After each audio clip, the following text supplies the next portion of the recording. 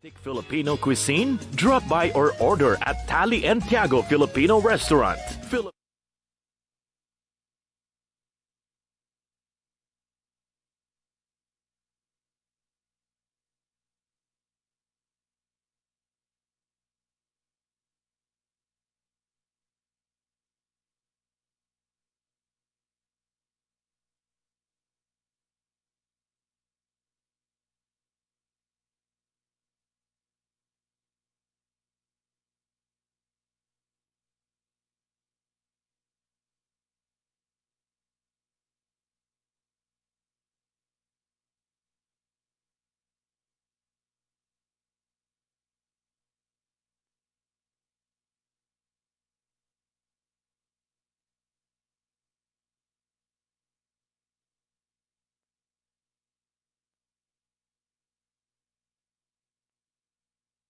Mga kaibigan, kasama ko ngayon si Roy Aseñero, one of the best tour guide na Pinoy dito sa Japan. So make sure from Tokyo to Osaka hanggang Sapporo, ito yung gamitan yung tour guide, okay? The best, the best, right on time, pleasant, gentleman. Mula sa top-rated music station ng dekada 80, ang WBL. Patuloy na naglilingkod sa inyo sa pamamagitan ng magaganda at piling-piling programa. Mula lunes hanggang linggo, aaliwin kayo ng aming kilalang mga komentarista at public service program. Ito lamang sa himpilan ng DWBL.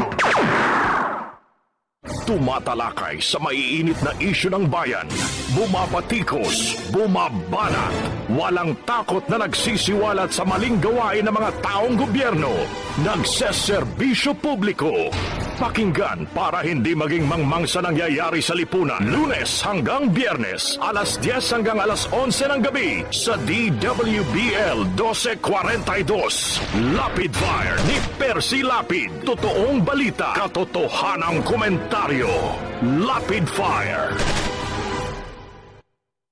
Magandang umaga. Congratulations. Tagahanga mo kami. Hindi mo lang nakukuha. Matagal na kami nakikinig sa'yo. Kasi magandang programa mo. Bukod sa mayroong tinatalakay na tama sa bayan, mayroong humor. At saka bilib ako sa'yo. Kasi nung minsan, parang nagagalit yung babae sa'yo, pero hindi mo pinatulang, cool ka lang. Ang ganda ka, kung tira mo ka ako yung si Percy ka, ako magaling talaga ako. Pero talagang kaka ko, ma maganda ka makiharap sa tao. Congratulations, babati lang ako sa'yo at uh, more power. Keep it up.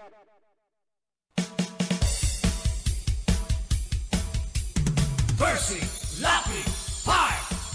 Percy, Lapid, Fire! Tapang mo'y kakaiba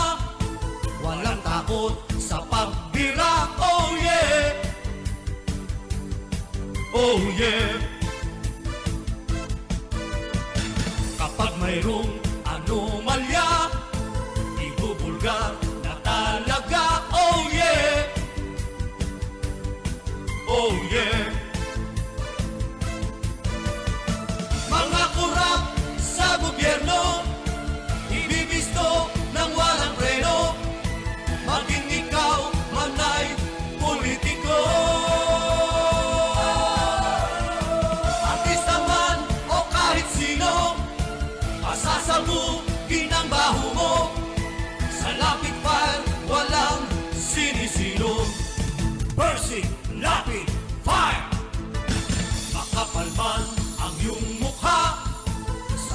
file, uubra Oh yeah! Oh yeah!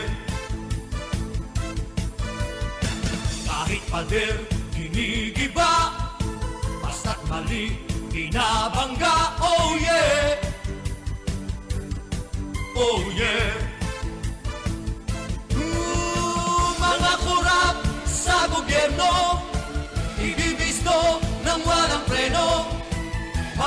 Ikaw man ay politiko. Artista man o kahit sino Pasasabugin ang baho mo. Sa lapit fire walang sinisino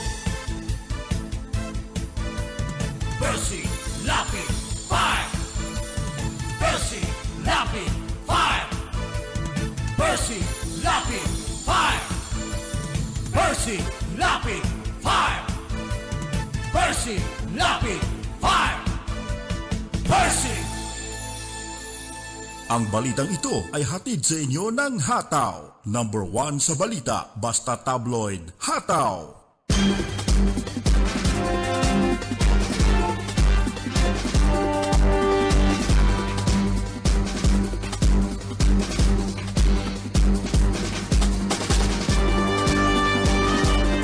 Si Percy Lapid, bumabanat. Lapid Fire!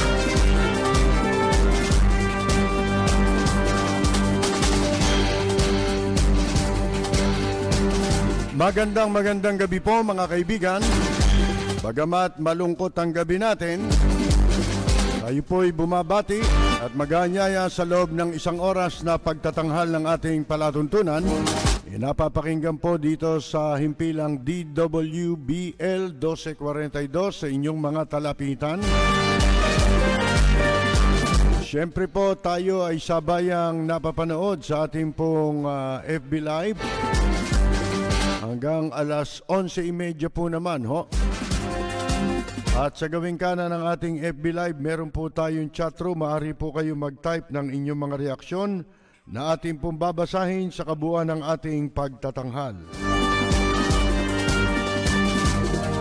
Samantala dito po sa ating impilan, meron po tayong numero kung saan maaari kayong tumawag sa 0915-707-0625 para po sa inyong mga reaksyon.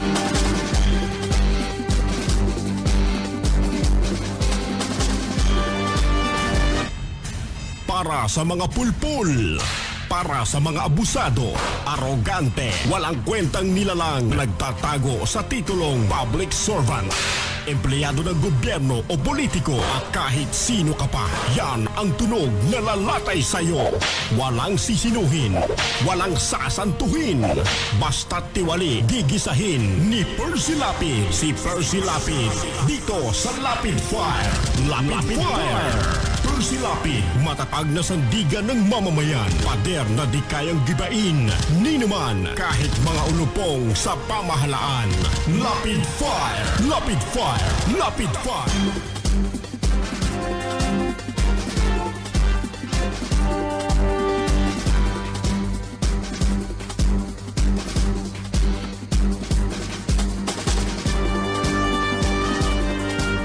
Mga kaibigan, alam na po nating lahat ano ang ah, malungkot na balita sa biglaang pagpanaw ni ah, kung ano, ni dating Pangulong Benigno Noynoy Aquino. Ah, kaninang umaga po mga kaibigan. Sa katotohanan, ah, hindi natin ito alam ano kaninang umaga kung hindi pa ah, nag-message sa atin ang isa nating ah, ah, matagal ng taga-subaybay mula pa sa Estados Unidos at tinatanong tayo kung merong katotohanan na pumanaw na si dating ah, Pangulong ah, Pinoy, mga kaibigan. At siyempre, ah, agad tayong ah, kumontak sa mga ah, mapagkakatiwalaan nating source at nakumpirma natin ah, na pumanaw na siya. Umaga pa lang ho, ng, ah, siguro wala pang alas 7 ah, nung makarating sa atin ang balita. At ah, yan nga po, eh, malungkot na balita dahil biglaan, ano, walang gaanong nakakaalam na ito pa lang si dating ah, Pangulong Noynoy Aquino, eh, matagal nang merong ah, karamdaman. Pero kung matatandaan ninyo, nung mga ah, two years ago yata yan eh. O nung 2019, di ba? Ah, si Chris Aquino ay ah, nagbigay ng pahayag, di ba, tungkol dyan, doon sa puntod ng kanilang mga magulang ah, sa isang ah, pag, ah, ano ron, yung, si- ano ron, ang tawag dito, okasyon. Ano ho, hindi lang natin malaman kung birthday ni dating Senador Benigno Aquino Jr. yon o ah, kaarawan nila, ah, kung sino man sa kanila ni dating Pangulong Cory. Eh ngayon, sinabi ni Chris doon na kuwan eh, matandaan ninyo na ah, hindi mabuti ang kalagayan ha, ng kanyang kapatid. At pagkatapos noon ay wala nang sumunod na mga update patungkol dun sa kanyang kalusugan. O, eh ngayon ho, ah, kaya nabigla ang marami at bumubuhos ang ah, mga pahayag ng pakikiramay at pagdadalamhati sa pagpanaw ni ah, dating Pangulong ah, Noynoy Aquino. Katunayan, ang international community, mga kaibigan, eh, bumuhos ang, ang kanilang mga mensahe ano, sa pagkamatay ni dating Pangulong Noynoy Aquino mula sa Europa, yung European Union, ha, ang Estados Unidos, oh, mabilis na nagpahatid ng kanilang ah, pakikiramay. Ah, ganun din dito sa atin, at ah, kaya nga lang dito sa atin talagang ah, iba ang kultura ngayon. Nagkaroon ng masamang kultura. At ang nakata- nakapagtataka, mga kaibigan, kasi meron akong napanood na video, kumakalat itong video na ito. Itong mga walang hiya na ito, na ginagamit pa ang himpilan ng radyo. Dapat eh, matawagan ng pansin dito pati ang kapisanan ng mga broadcaster sa Pilipinas. Ah, unang-una, nagsasalita yung abugago, este abu, abugado, ah, na si Gadon, kasama yung dalawa palibasa, eh, yung isa abugado, yung si mukhang kabayo, na si ah, Angeles, di ba? Yung isa naman, ah, nagkokolom, kulamnista na dating, ano ito eh, dating opisyal ng Department of Labor sa panahon ni ah, Pangulong Marcos. Ah, at ah, ito hong ah, kumag na ito, mga kaibigan, eh hindi ho talaga broadcaster ito eh. Ah, trying hard na mga maging broadcaster dun sa programa nila na puro sila mga politiko, di ba? Ah, doon nagsimula yung programa niya. Nakakala mo kung mga sino ito. Abay, akalain ninyo, natatandaan ba ninyo nung namatay si Presidente Cory Aquino? Ha? Si Willie Revillame natanggal, di ba? Sa Channel 2 dahil sa pambabastos niya ah, doon kay ah, doon sa ah, habang nakaburol si Presidente Cory Aquino, binaboy ni Willie. Merong kasi ang ABS-CBN eh continuous yung kanilang ah, parang tribute, hindi ba? Kay Mrs. Cory Aquino at bilang tribute eh lahat ng programa nakalagay doon, naka-inset yung pong ah, video, ah, live, ha, live video na makikita mo yung yung kabaong kung nasan nakahimlay yung ah, labi ni dating Pangulong Cory Aquino. At ah, matatandaan ninyo kung ano-ano pinagsasabi ni Willie. Pwede bang pakitanggal nyo yan? Ha? Eh, nagkakasiyahan tayo dito eh. Tapos eh, pinakikita nyo yan. Ba eh, yun ang naging dahilan.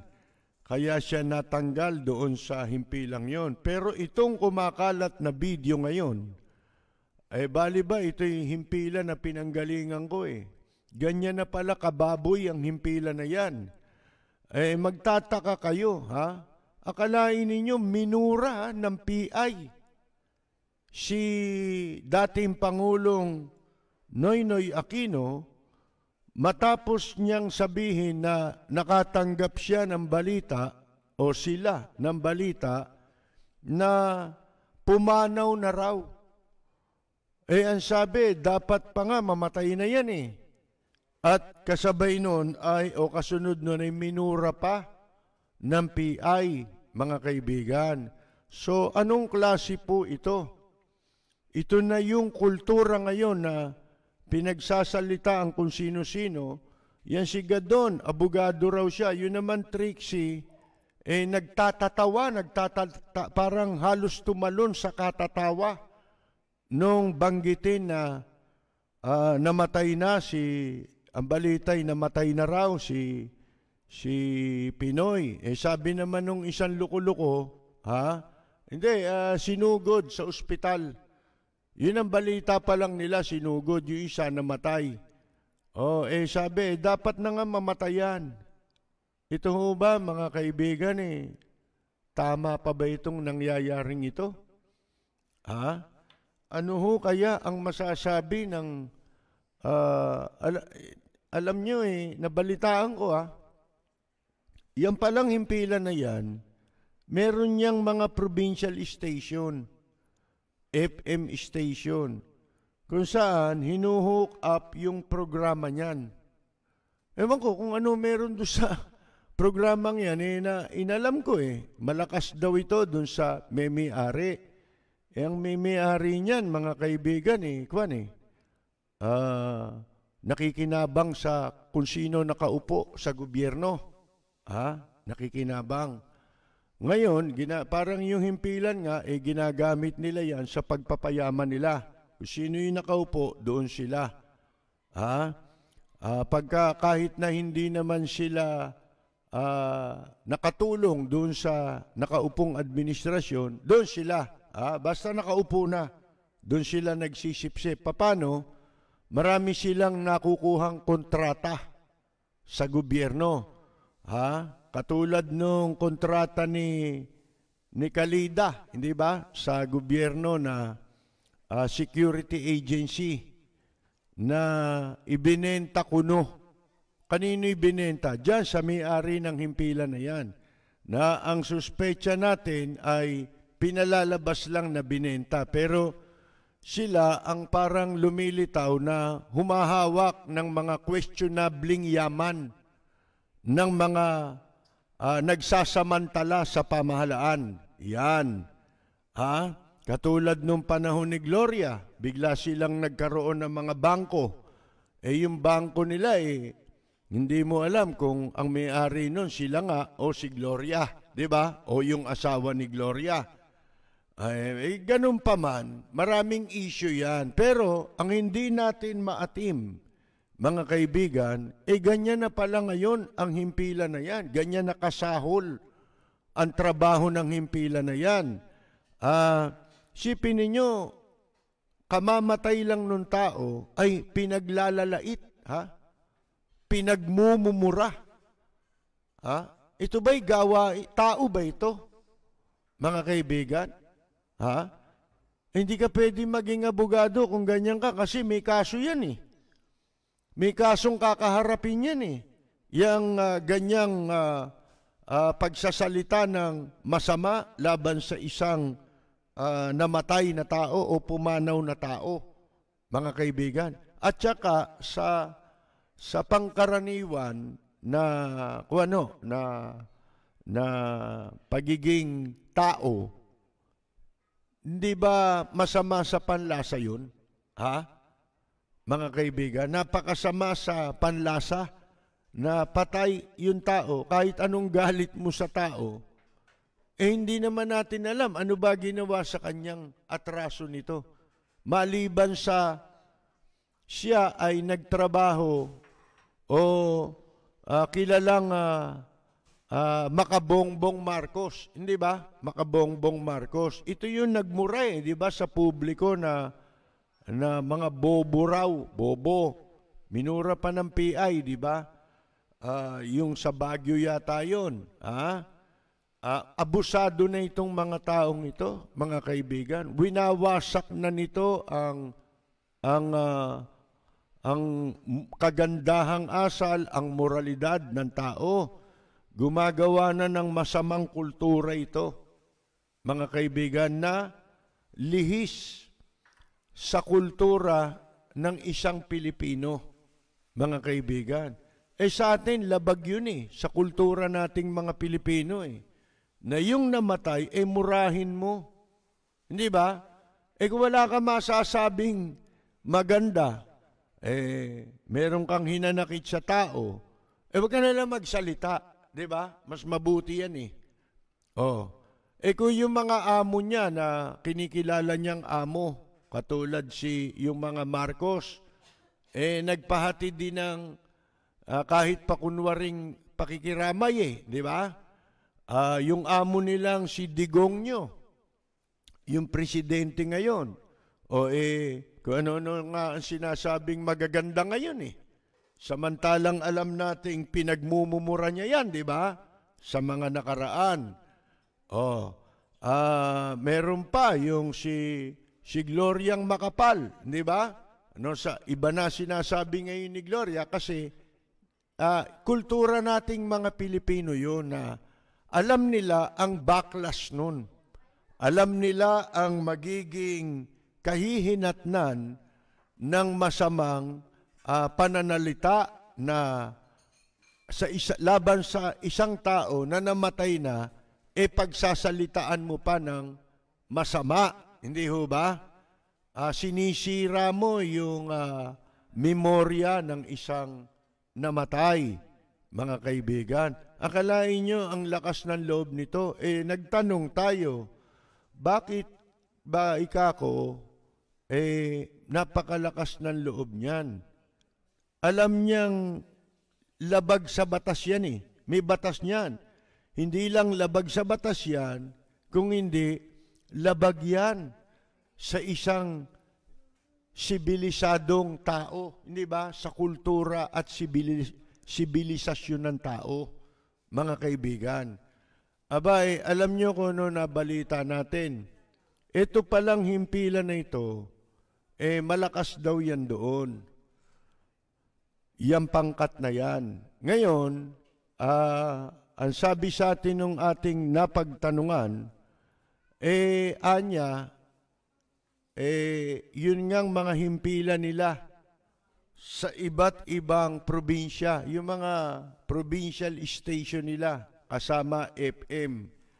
Lahat daw ng station managers sa lahat ng provincial stations ng himpilan na yan, eh nagreklamo na eh sa management, mga kaibigan, dahil naaapektuhan sila, hindi lang pala ngayon, ginawa nito ang mga derechahang pagmumura, kundi malimit pala yan na ginagawa niyang bukang bibig ang pagmumura ha, sa mga minumura nila na tao. Lalo na kung ikaw ay ah, hindi ah, kasang-ayon ha, ng kasalukuyang administrasyon. Yun ang nakarating sa atin.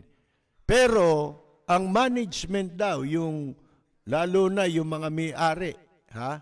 Kasi marami silang may-ari niyan eh. Oh, eh wala raw ginagawa. Yun ang katunayan na malakas sila sa management. Nakapagtataka nga eh. Ang kapisanan ng mga broadcaster sa Pilipinas eh, walang ginagawa tungkol dito. O hindi pa, marahil nakakarating yan sa kanilang kaalaman. At kung makarating yan sa kanilang kaalaman, ano kaya ang meron kaya silang gagawing hakbang? Ha? Lalo-lalo na kasi ang sakop ng kapisanan ng mga broadcaster, eh, yung mga himpilan talaga ha, ang responsable sa kanila sapagkat yung mga himpilan, iyan ang miyembro ng KBP. Ito hong mga nagsasalita, kamukha namin, ho, eh kami ho, hindi member ng KBP. Ha? Anong hindi member? Pwede ba yun? Oo, kasi yung mga tanga, akala nila, ang mga announcer, commentator o broadcasters, eh yan ay membro ng KBP. Hindi ho. Ang mga broadcasters ay accredited lamang. Magkaiba ho ang membership sa accredis- accreditation. Ho, kasi ang ang ah, ang ah, samahan ng kapisanan ng mga broadcaster sa Pilipinas, yan ay samahan ng mga may-ari at management ng mga himpilan ng radyo at ng telebisyon. Pero yung mga nagsasalita, ha, ah, lahat ng klase, alam niyo naman niyo sa radyo, iba-iba yan. Meron DJ, ha? Yung DJ, yung tagapagpatugtog ng plaka. Pero iba na ngayon. Ang mga DJ ngayon sa FM, eh, nagsasalita na rin eh. Mga kaibigan eh. Nagkukomentaryo pa eh. Ha? Oh. Merong announcer, merong newscaster. Ha? Magkakaiba yan ang kategorya. Merong commentator. Ha? Oh, iba-iba yan eh. Yung iba nga, akala nila kapag ka nakapagbitiw sila ng konting komentaryo, komentarista na sila. Pero simula nung ako'y isilang at nasu- nakasubaybay ng radyo, tayo man eh. Ha? Nakapagsasalita tayo pero hindi ho diretsahan na pagmumura laban sa kanino mang tao na minumura mo ng pu. Ha? Ah, PI, ha? Mumurahin mo. Hindi eh. Yung sa atin medyo ano yun eh, pampatawa yun sa atin eh. Mga kaibigan, katulad ho halimbawa nito, kasi hindi naman mura ito eh. Hindi ko naman ito kinuha sa mura eh. Ito ho ay awitin ito, lumang awitin ito. Ha? Na matatawa ka, magugulat ka, akala mo nagmumura.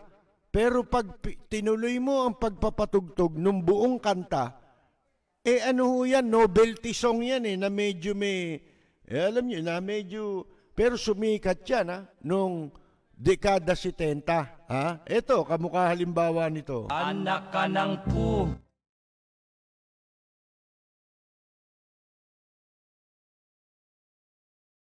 Alam nyo ba kasunod nun? Ha? Para sa mga hindi nakakaalam. Ang kasunod nung anak ka ng po, anak ka ng po, ha? anak ka ng po, anak ka ng po, lis, may, may kawayan. O, kanta yun eh. Mga kaibigan, binibitin lang eh para, alam nyo na, novelty yan eh. Ha? Novelty song eh. O, puro kayuhin, ha? Puro kayuhin, puro kayuhin, di mayayabang. O, yun ang kasunod nun, mga kaibigan. Eh, pero ito hindi ho eh. Tahasan ng nagmumura, nanlalait sa tao. Mga kaibigan, na wala namang isyong sinasabi. Sipi mo, dapat daw mamatay na. Yun lang, hindi mo pwedeng sabihin sa radyo yun eh. Nung simula nung ako'y bata at nakasubaybay sa radyo, hanggang sa ako'y mapunta rin sa radyo, mga kaibigan, hindi ako nakakita ng ganitong klasing mga tao. Ha? Na ginagawa nila yan ngayon. Hindi ako nakakita ng ganyan o nakarinig ng ganyan. Matitindi ang mga komentarista, halimbawa si Kadamian Soto, hindi ba? Naku po, mga kaibigan, hindi mo naman kailangang magmure. Ha? Ang kailangan mo ay ipaliwanag mo yung issue kung ikaw ay komentarista, ha? e bigyan mo ng komentaryo yung issue ayon sa iyong pananaw, ha? Ayon sa iyong pansariling komentaryo o pananaw mo doon sa issue. Paniwala mo sa issue, paninindigan mo. Oh, pero eh yung murahin mo ang basta na lang sasabihin mo na ah balita patay na si ano eh, dapat nga mamatay na yung po ha? Talagang diretso mga kaibigan. So ito ba? Ga- hanggang dyan lang yan? Isipin ninyo ang nagawang kasamaan ng kasalukuyang administrasyon sa pagpapabagsak hindi lamang ng ekonomiya ng bansa, ng kabuhayan ng mga mamamayan ang pinabagsak nito, kundi pati morality ha, ng mga tao. Ha? Alam ba ninyo kung sakaling mawawala itong administrasyong ito at magkakaroon tayo ng panibagong administrasyon na hindi nila kapanalig? isa sa magiging malaking problema ha, na dapat solusyonan ng susunod na administrasyong hindi mga magnanakaw o hindi nabibilang sa kanilang hanay na puro manluloko. Ha? Isa sa pinakamalaking problema na kailangan niyang solusyonan ay yung values formation. Mga kaibigan, ha? yung pahalagahan ang moralidad ng tao na pinabagsak sa kasalukuyang rehimen na ito. Yan, no? pinababayaan nila, mga kaibigan. Di ba, ganyan din ang trabaho ng mga vlogger, hindi ba, na pinagbibigyan ng programa sa radyo. Eh. O yung isa, nahuli na eh. Kanina, kumakalat. Eh sabi nila eh, ano ba masasabi niyo dyan? Yan, papatulang ko. Sino ba yan? Eh, baboy lang yan eh. Kukunti yung hayop na ganyan na walang karapatang mabuhay sa mundo eh. Bakit ko papatulan yan? Ang dapat dyan panagutin sa batas. Hindi ba? So ngayon, alam nyo dapat ah, may mga abogado namang matitino eh. Di ba? Meron tayong organisasyon ng mga abogado. At meron ding mga taong uh, alam ang tama at mali. Bakit hindi ninyo ngayon pagsamasamahin ha? ang inyong uh, uh, kwan, uh, may aambag ngayon pa lang para bumalik ang moralidad sa bansang ito na pinabagsak at pinab- pinadapa, binaboy ng mga taong itong nakaupo sa gobyerno ngayon dahil sa sila ang umuupa dyan eh. Katunayan, nahuli na nga yung uh, kan- kanilang Facebook, di ba? Oh, yan, ganyan ang gagawin dyan eh. At uh, yung mga ibang accounts na konektado doon.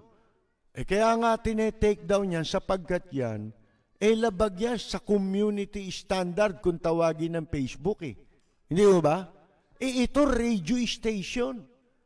Bali ba, malakas ang power ng istasyon na yun eh. Ha? Eh kaya nga lamang yan eh, ano yan, yung oligarch yan, di ba? Oh, mga kaibigan. Eh galing ako diyan eh. Oh, hindi kami hindi naman ako gumawa ng ganyan eh. Pero tinanggal ako diyan eh. Nagrally lang ako ah. Nagrally lang ako sa Department of Justice. Oh, noong 2011. Abay, akalain ninyong inalis na ako. Bakit? Kasi meron silang mga kaso eh. Gusto nila, kailangan malakas sila sa lahat ng sangay ng gobyerno. Kailangan nagagamit nila yan pabor sa kanilang interes. Eh, baka natakot sila na baka uh, yung mga kaso nila eh mabuhay ha, diyan sa dahil sa aking ginawa. Ano pakialam nila sa aking trabaho? Hindi ba? Oh, eh, alam ba ninyo immediately eh tinawagan ako na wag na akong magre-report sa istasyon. Oh, tanggal, 'di ba? Mga isang buwan ako mahigit na nawala sa radyo noon. Pinilit lamang ako eh na bumalik doon eh. Ha? Kasi medyo natakot yung yung may-ari nung buhay pa eh. Ha? Mga kaibigan eh, doon sa ginawang pagkatanggal sa akin, baka ang magkaroon naman ng backlash yung sa mga negosyo nila. Ha? Baka maapektuhan yung mga negosyo nila sa ginawa nilang pagtanggal sa akin. Tatapatin ko na kayo. Wala na akong balak no na uh, bumalik doon sa istasyon na yon. Uh, kaya lamang sila rin ang nakiusap at gumawa ng paraan para ako pabalikin. Dahil wala akong kasalanan eh. Yung aking pong ginawang pagrarally sa harap ng Department of Justice ay sarili kong laban yun. Mga kaibigan, hindi naman laban ng istasyon yun eh. Ha? Eh, pero tinanggal yung program ko eh. Mga kaibigan, wala akong sinasabing masama. Ah. Ang sinasabi natin doon, issue. Isipin mo, Secretary ng Department of Justice yun. Ah, yung dahilan ng pagrarally namin. Bakit namin? Eh sinamahan ako ng mga listener eh. Ang sabi nila eh, Kapersi, kapag nagrally ka dyan, sasama kami sa iyo. Abay, ang daming dumating eh. Mga kaibigan, napakasaya nga nung rally namin, walang galit eh. Ha? Nagpapahayag lang, hindi mo na nga kailangan magsalita dahil meron na kaming mga placard eh. Kung ano yung gusto namin sabihin, nakakabit na sa placard. Oh, pagkatapos eh, meron kaming magandang sound system na inupahan ko. Nag-concert kami ron eh. Ang saya eh. Hindi kami nagpunta ron para manggulo. Protest ah, concert ang ginawa namin. Kaya yung mga nagpunta ron, nasyahan din eh. Yung mga tumulong sa amin, pero hindi ko akalain. Isipin mo ito, nagmumura sa isang dating presidente ng derechahan at sinasabing mamatay, mabuti nga mamatay na sana. Ay, isipin ninyo yan. Hindi ba krimen yan? Krimen yan. May batas yan na hindi mo pwedeng sabihin yan. Ha? Bukod sa sinisiraan mo yung tao na namatay. Mga kaibigan. Oh, ngayon, wala ka namang issue sinasabi. Sana kung ah, inasabi mo, ganito, magnanakaw sila Erap Estrada. Eh, sino ang sino ang tututol na hindi magnanakaw si Estrada? Hindi nga ma- basta magnanakaw lang si Estrada eh. Si Estrada ay convicted plunderer. Kaya tawagin mo man siyang mandarambong, hindi ka makakasuhan. Ha? Maliban na lang, tumanggap ng limpak. Paano kang kakasuhan eh? On record yan, official. Sino ba nag-convict? Tayo ba? Hindi. Ang nag-convict, humatol kay Erap sa kasalanang pandarambong, ay hindi tayo. Hukuman ang humatol sa kanya. Kapag ang isang tao'y nahatulan na, kaya nga sinasabi ko na ang titulo dapat ni Erap Estrada ay hindi na ex-president o former president. Meron na siyang ibang title. Ha? Hindi ako nagmumura o nilalait ko si Erap. Paano ko siya lalaitin eh? Totoo yun. O, kayo magsabi sa akin, si Erap ba convicted plunderer o hindi? Convicted eh. Di ba hinatulan, mga kaibigan? O, ngayon, pag sinabi mo yon, hindi ka nang lalait. Dahil ibinabase mo sa katotohanan. Yun, meron kang pinagbabatayan. O, hindi katulad nung iba, halimbawa, narinig mo lang, oh, totoo ba, patay na si Noy Noy? Katulad nung natanggap kong balita kanina mula sa Estados Unidos. Sa Amerika, kalat na kalat eh. Ang bilis lumaganap ng balita ron kaysa dito. Mga kaibigan, ano sabi? Sabi ko, ah, ganun ho ba? Eh, aalamin ko muna. O, tsaka tayo tumawag. Itong mga vlogger, itong mga yun, yung nagmurang yun, hindi muna inalam eh. Wala silang effort na ginawa eh.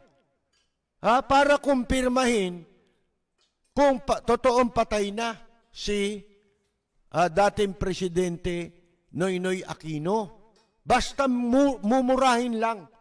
Gusto niya lang daw mamatay na. Eh bakit? Sa sarili mo lang yun dapat, di ba?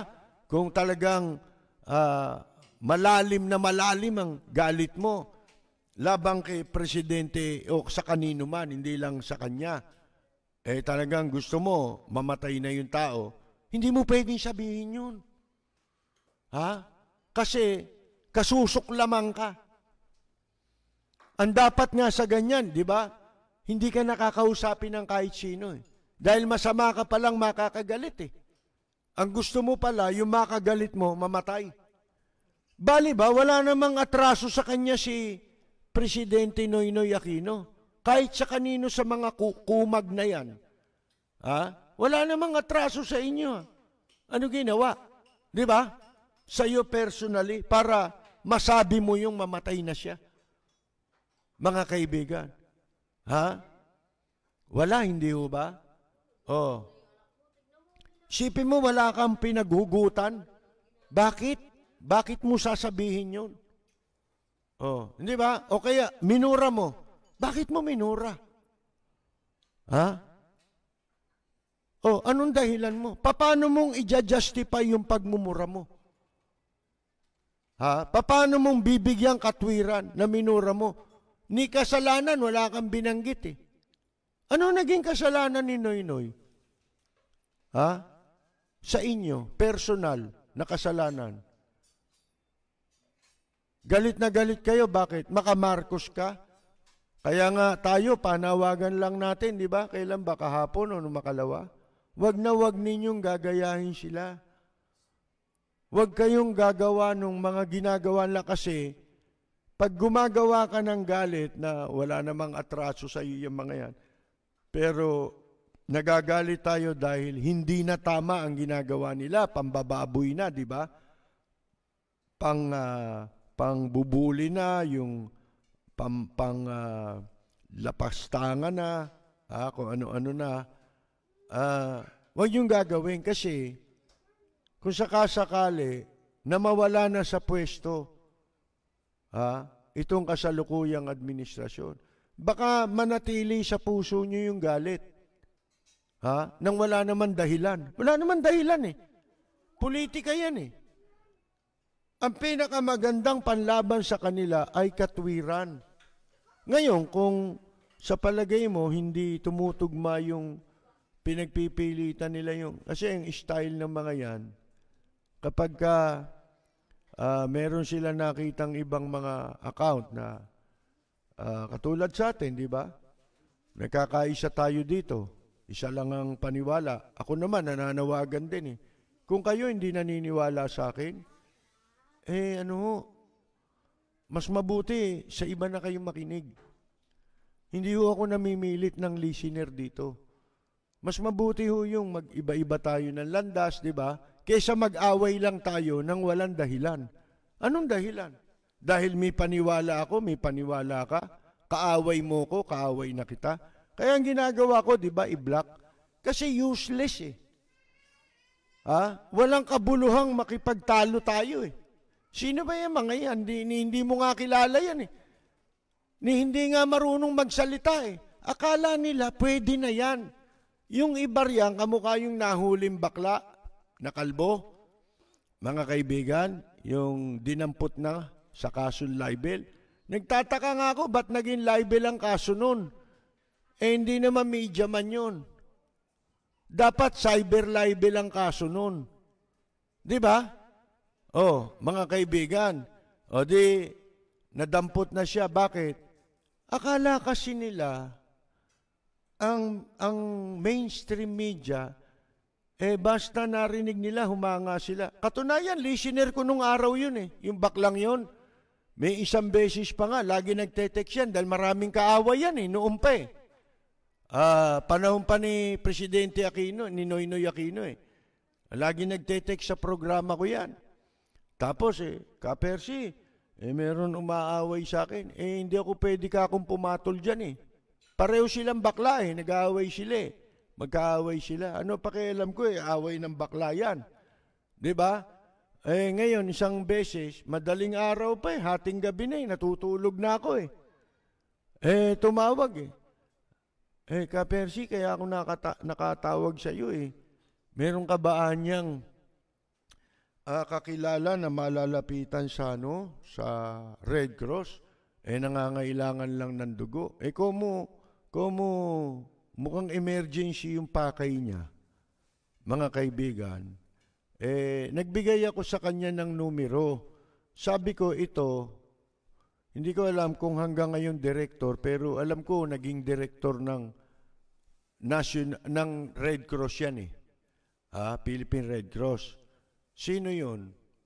Yung kamag-anak namin kamamatay lang na may-ari ng Lapid Chicharon, si Ray. Di ba kamamatay lang nung, nitong nakaraang buwan? O yan, naging director yan ng ah, Philippine Red Cross. Sabi ko lang sa kanya, ito, bibigay ko sa iyo number, eh, bala ka nang tumawag. Hindi na nga nagpasalamat ang hayop na yan eh, mga kaibigan. Eh. Yan, pwede mo murahin yan. Yan ganyang klase ng tao. Kasi babo yan eh. Akala nila yung, yung mga media, basta lang bumabanat yan. Kasi na, kikita nila eh. Iniisip siguro nila, kaya ko rin to. Mas matindi pa ako rito eh. Kasi hindi nila alam kung paano nabuo yung banat. Hindi nila tinitignan yun. Akala nila basta, eh siguro iniidolo nila yung mga yung mga magkakapatid diyan, di ba? Na ang hanap buhay ay manakot. Ha? Oh, yung magkakapatid sa media na ang hanap buhay manakot. Oh, akala nila ah, basta nasa media ka, pwede mo rin gawin yung ginagawa nila. Eh, o kaya, naimbento na itong social media, pwede na rin nilang gawin sa social media yan. Oh, eh kita mo. Alam nyo, yung mga nagsasalita na yan, akala lang nila, hindi sila mananagot. Dadating yung day of reckoning, eh. mga kaibigan. Yung pagtutuos, darating yan. Sigurado yan, mga kaibigan. O ngayon, eto, ano ang sinasabi natin sa inyo na sa mga mahalagang pangyayari sa ating bansa na nagpapabago sa takbo ng administrasyon. Katulad si Pinoy. Ah, sino ba sinundan niya? 'Di ba? Yung ubod ng korap na si Gloria. Ah, ah, pinatalsik na si si Plander Estrada, ah, itinuloy niya yung naiwang term, 'di ba? Eh talagang suwapang eh. Ang sabi ng si, ang sabi hindi na raw sila tatakbo kasi may da, ilang taon pa yung apat na taon ang naiwang termino ni Erap. Dahil siya ang pumalit, itutuloy niya yung apat na taon. At pagkatapos daw nun, hindi na siya tatakbong muli. Totoo ba yon? Hindi. Dahil tumakbo siya ulit. Kaya siya pinakamahabang naging presidente sa ilalim ng 1987 Constitution, mga kaibigan. So, nakasampun taon si Gloriang Makapal, mga kaibigan. Suwapang eh, sakim. At kung po pwede, magpatuloy pa. Kaya ang ginawa, itong binabalak ngayong isang, isa sa mga planong binabalak ngayon ng kasalukuyang administrasyon na magpatakbo rin ng marami. Upang nang sa ganon, kahit na konting boto lang, eh magawa nilang makapagpanalo ng presidente na kung hindi man sila ang masusunod, kaalyado nila. Ha? Sus, ah, ah, makukuha nila ang mga pabor na gusto nila. Di ba? Yan din ang isa sa plano. Isa lang yun sa plano. Kaya ang dami naglulutang ang pangalan Pati si Digong nyo gustong tumakbo ulit, di ba? Ngayon, anong sinasabi natin? Pag pinaliliwanag natin, huwag kayong madidespair. Huwag kayong mawawala ng pag-asa sapagkat pinakagrabing administrasyon na itong kasalukuyan. Grabe ito. Sa dilang grabe. Wala pang ganito sa panahon ni Gloria, uh, nalunod sa ang sambayanan sa korupsyon. Talagang puro pagnanakaw, mga kaibigan. CTE broadband deal. Sa panahon niya unang ikinumpormiso ang Pilipinas sa China, di ba? Iyan CTE broadband bill, bill mga kabayaran yan. Ha? Diyan kukunin yung malalaking kickback bilang bayad sa pag-ukupa ng China sa West Philippine Sea. Ngayon, ano nangyari? Akala, ni, akala nila, uh, panalo na si Bilyar kasi maraming kwarta, di ba? Ang laki na ng ginastos, matagal pa kumakampanya na, at uh, lahat ng survey binayaran na kaya ang lahat ng survey wala nang maglalabas na hindi siya ang number one. Ha? Oh, lahat ng survey na lalabas. Ha? Matagal nang ginawa. yung survey ng SWS, ng Pulse Asia, matagal na nilang na-imprenta yun. Ha? Yung resultang yun. Si Villar wala nang gagawin kundi ilabas na lang mayat maya yun. Isa pa isa-isa. Ha? Matagal na, bayad na eh. O, wala ka nang ilalabas. Ha? Lalabas mo na lang dito sa mga vice president, senador, yan. Yan na lang. Sa presidency, siya na lagi ang number one. Bakit? Binili na niya eh. Yan ang nangyari noong 2010 election. Pero, ha, sabi nga natin, ah, nakikialam ang tadhana eh. Pag dumating na yung sukdulan, biglang nakikialam ang tadhana. At ang tadhana, tandaan ninyo, ay laging merong lihim na paraan ng paghihiganti upang ipaghiganti ang kaapihan ng mamamayan. Ano nangyari? Sino mag-aakala mamamatay si dating Pangulong Corazon Aquino? O, dapat ba nating ikagalak yun? Hindi. Instrumental sila kung kung ma, kung inyong uh, sisimulan kay dating Senador Aquino, parang nagkaroon na sila ng gagampan ng papel eh. Ha? Bilang uh, kwan ho eh, uh, kung tawagin ay divine intervention. Sila ang gumaganap ng papel na yun eh. Ano nangyari pagkamatay ni Ninoy? Bagsak si Marcos, si dating Pangulong Marcos. Bumagsak. Yun ang pinagmulan.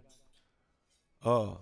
Namatay si si Mrs. Aquino. Masama na ang takbo ng gobyerno talaga. Hanggang wala nang ititira. Ha? Gusto lahat maibulsa ni Gloria. Hindi lang kumasya buong Pilipinas eh, sa bulsa nila. Eh. Pero kung kakasya yan, talagang ibubulsa lahat yan. Mga kaibigan, Pagkatapos niyan, eto ngayon. Ha? Eh, di ba? Wala namang kamuwang-muwang sinoy-noy na tatakbo.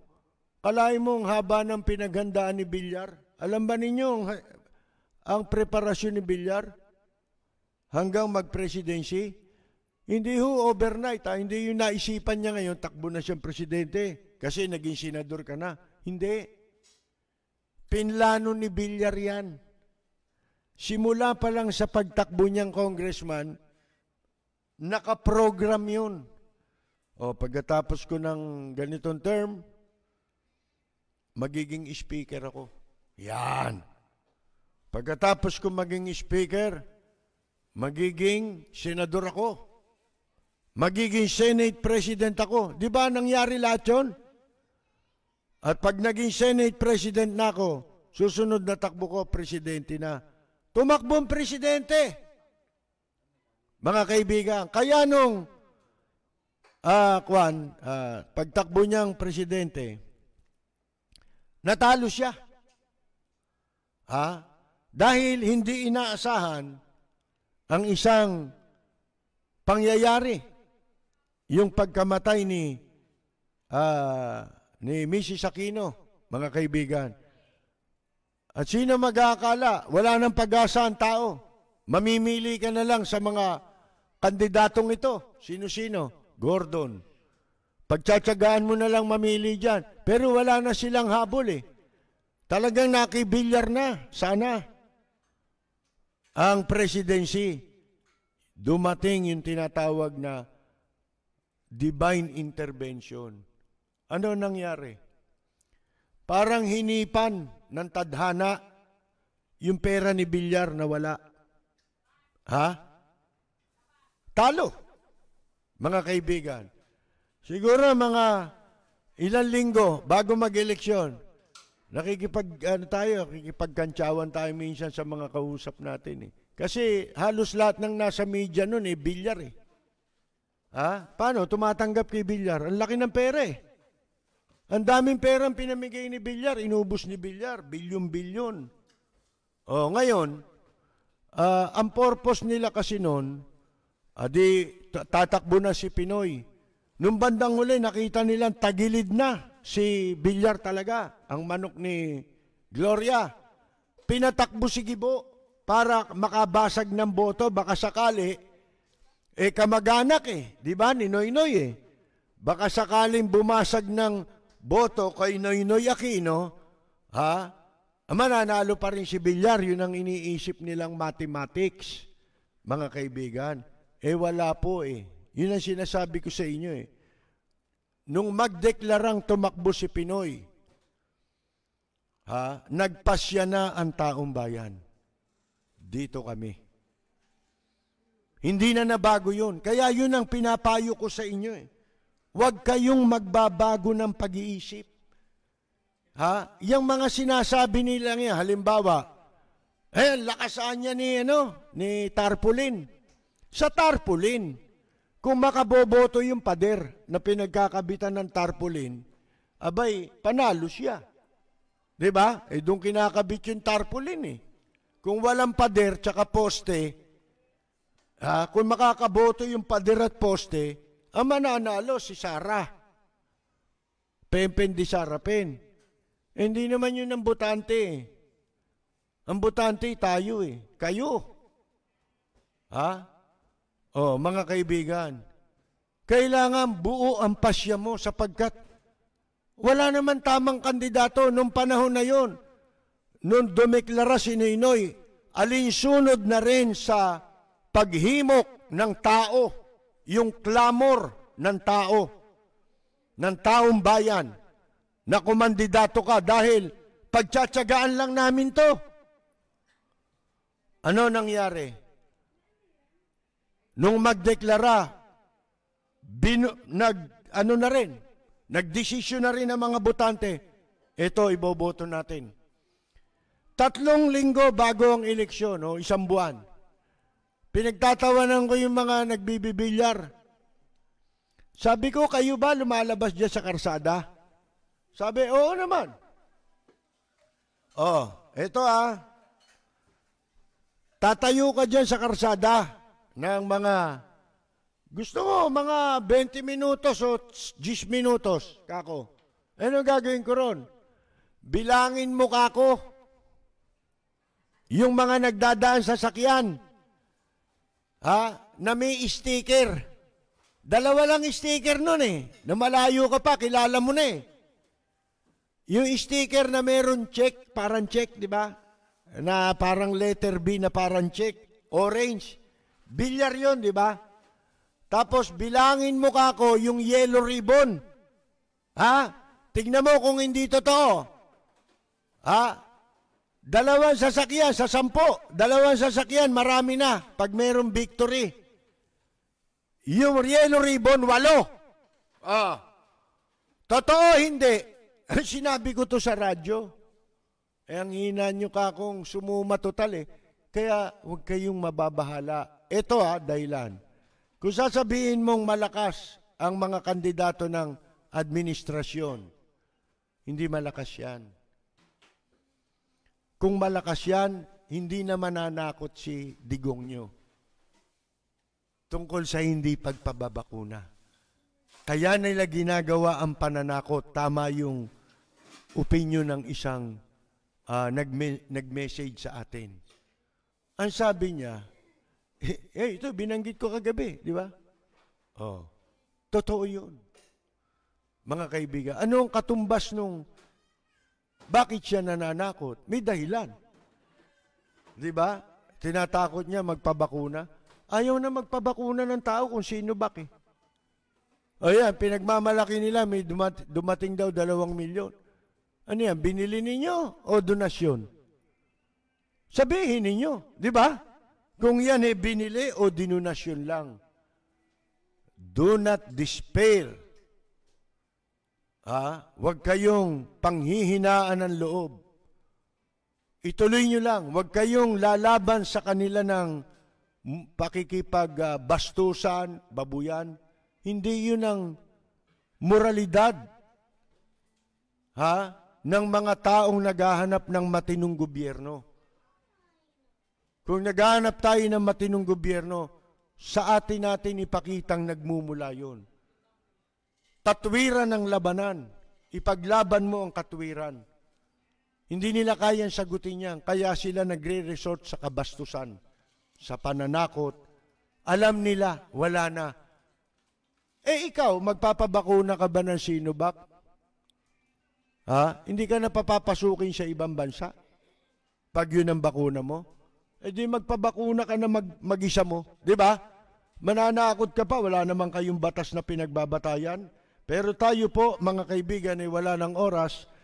Ah, sa mga nakikinig sa atin sa radyo, tayo po ay napapakinggan lunes hanggang biyernes alas 10 ng gabi hanggang alas 11 ng gabi sa impilang DWBL 1242 sa inyong mga talapitan. Pero huwag kayong alis, magbabalik ang rapid fire sa ating pong patuloy na ah, FB Live hanggang alas 11.30.